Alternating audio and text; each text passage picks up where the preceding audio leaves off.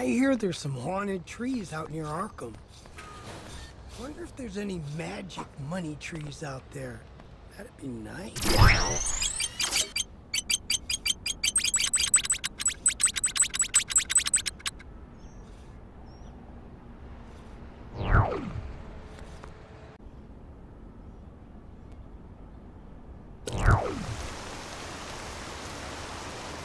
What time is it now?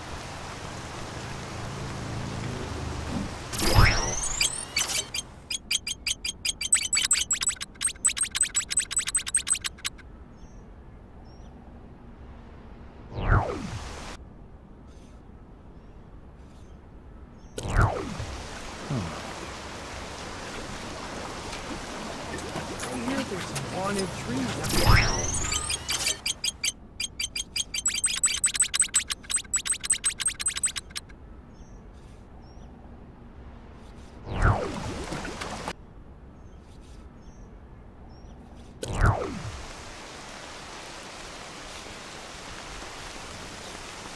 Ah.